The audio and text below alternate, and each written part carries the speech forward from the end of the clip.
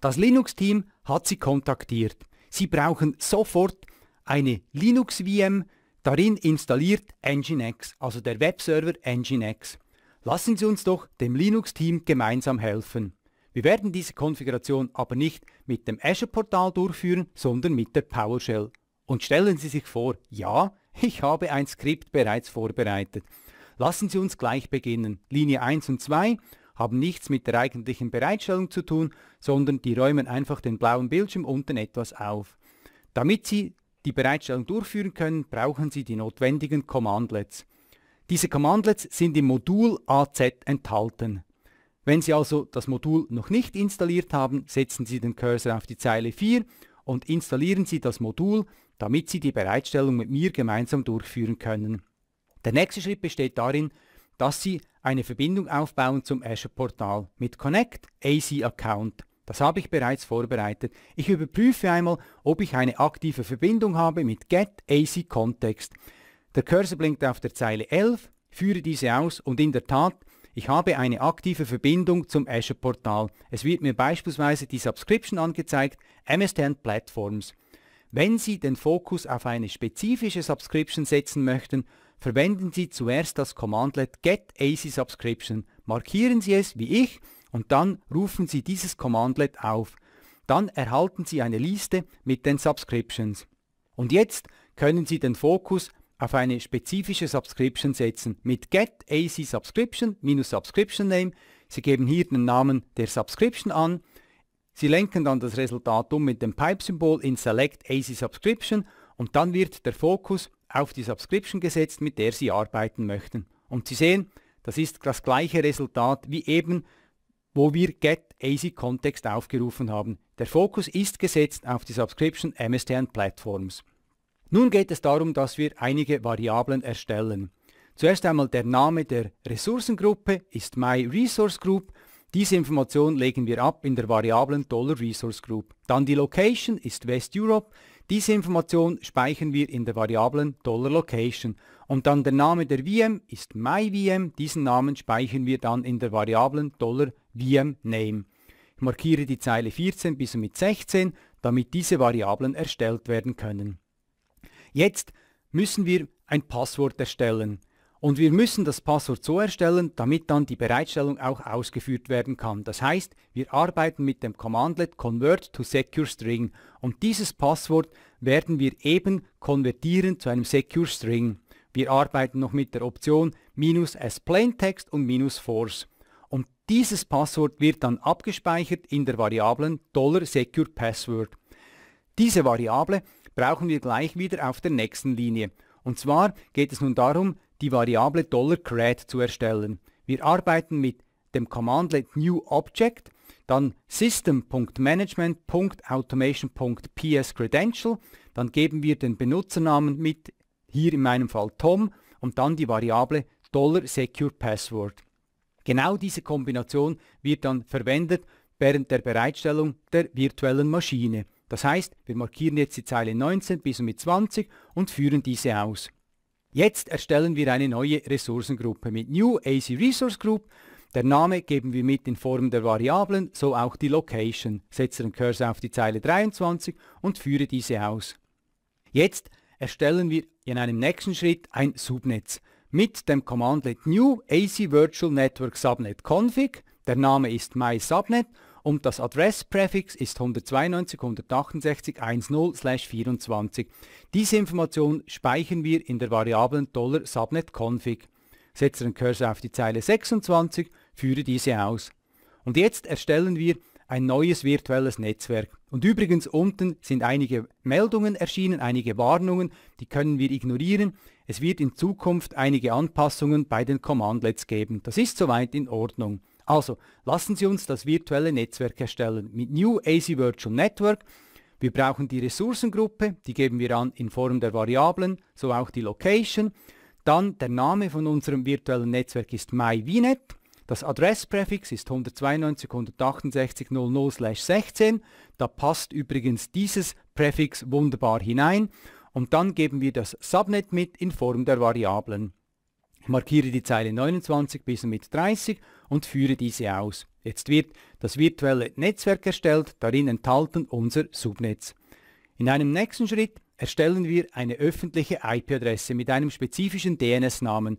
Wir verwenden dazu New AC Public IP Address, wir brauchen wieder die Ressourcengruppe und die Location und dann brauchen wir den Namen von unserer Public IP. Der Name muss eindeutig sein. Darum verwende ich zuerst einen Namen, myPublicDNS und dann mit getRandom wird ein zufallsgenerierter String erzeugt.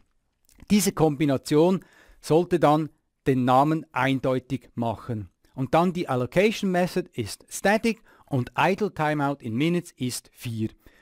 Das virtuelle Netzwerk ist erstellt, der Cursor ist zurück, das heißt, wir können nun die Zeile 33 bis und mit 34 markieren, damit die Public IP erstellt werden kann. Und nun führen wir diese aus. Wir sehen hier die Information zur Zone, wie wir das zukünftig angeben müssen, aber das ist jetzt in unserem Beispiel nicht relevant. Nun geht es darum, dass wir eine neue Network Security Group Regel erstellen. Ich möchte, dass der Port 22 freigegeben wird. Dazu verwenden wir New AC Network Security Rule Config. Der Name ist My Network Security Group Rule SSH. Das Protokoll ist TCP, die Direction ist Inbound, die Priority ist 1000. Source Adresspräfix ist Stern, also ein Platzhalter. Source Port Range Stern, ebenfalls wieder ein Platzhalter. Destination Address Prefix wiederum der Stern. Und jetzt Destination Port Range 22. Ich möchte, dass der Port 22 geöffnet ist. Minus Access ist Allow. Markiere die Zeile 37 bis mit 39 und führe diese aus. Und eigentlich genau das gleiche für Port 80. Ich verwende einfach einen anderen Namen für die Variable und der Port ist dann 80 und nicht 22. Der Rest ist identisch. Markiere die Zeile 42 bis mit 44 und führe diese aus. Und jetzt erstellen wir eine neue Network Security Group mit New AC Network Security Group. Wir brauchen die Ressourcengruppe, die geben wir mit in Form der Variablen, so auch die Location. Der Name ist My Network Security Group und dann geben wir die eben konfigurierten Regeln mit in Form der Variablen. Ich markiere die Zeile 47 bis mit 48 und führe diese aus. Jetzt erstellen wir eine Netzwerkkarte und weisen dann die öffentliche IP-Adresse und die NSG zu.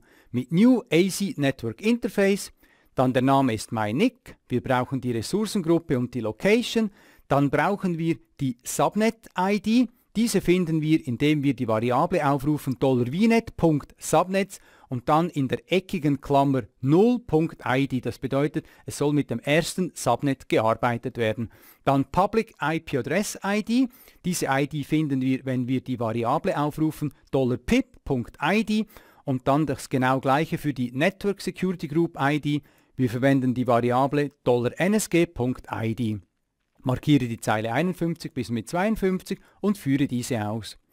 Jetzt erstellen wir eine Konfigurationsdatei für die virtuelle Maschine. Dazu verwenden wir New ACVM Config. Der VM-Name geben wir mit in Form der Variablen. Dann die VM-Size ist Standard underline DS2 underline V2. Dann Set ACVM Operating System ist Linux. Der Computername geben wir mit in Form der Variablen. Und jetzt geben wir die Credentials mit. Dann Set AC VM Source Image. Wir geben den Publisher an, Canonical. Die Offer ist ein Ubuntu-Server. Die SKU ist 18.04-LTS, steht für Long-Term Support und wir möchten mit der aktuellsten Version arbeiten. Und dann add-ac VM Network Interface minus ID und wir geben die ID mit, indem wir mit der Variablen $nick arbeiten, .id. Markiere die Zeile 55 bis mit 58 und führe diese aus. Jetzt wird die Konfigurationsdatei erstellt für unsere VM und jetzt erstellen wir die eigentliche virtuelle Maschine mit New ACVM. Wir geben die Ressourcengruppe mit in Form der Variablen, so auch die Location und wir geben die VM-Informationen mit, ebenfalls in Form der Variablen. Setze den Cursor auf die Zeile 61 und führe diese aus. Und jetzt wird die VM bereitgestellt. Wir erhalten noch eine Meldung. Da wir mit Premium Storage oder mit einer Managed Disk arbeiten, wird als Standard Storage Account folgender verwendet und der folgende ist eben hier CSBB7 mit dieser langen Zeichenkombination für die Boot Diagnostics und das ist absolut in Ordnung. Die PowerShell hat ganz einfach einen bestehenden Storage-Account erstellt, damit dort die Boot Diagnostics Informationen gespeichert werden können. Das ist für mich absolut in Ordnung. Und wir sehen, die Maschine wurde erstellt, alles in bester Ordnung. Jetzt geht's an die eigentliche Installation vom Webserver und zwar mit einer sogenannten Extension. Zuerst erstellen wir eine Variable Dollar $Public Settings und dann führen wir ein Befehl aus mit Command to Execute und zwar apt-get minus y, um eine allfällige Frage zu beantworten mit yes und dann Update und dann zweimal das kaufmännische und, damit wir beide Befehle zusammenfügen können. Ich erkläre gleich, was es bedeutet. Der nächste Befehl ist dann apt-get minus y, um eine allfällige Frage zu beantworten, install nginx.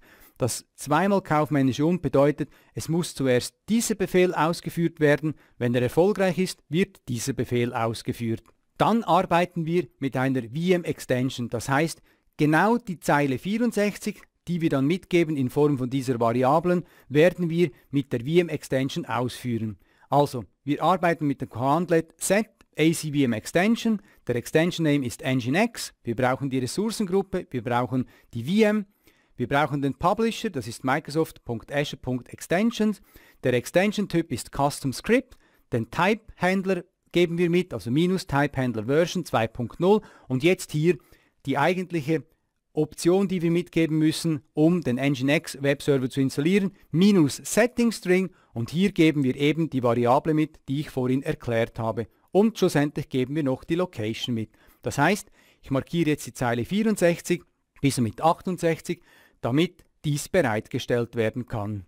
Und nun ist die Bereitstellung unterwegs und wenn die Bereitstellung abgeschlossen ist, können wir das Ganze überprüfen. Die Überprüfung kann unterschiedlich sein.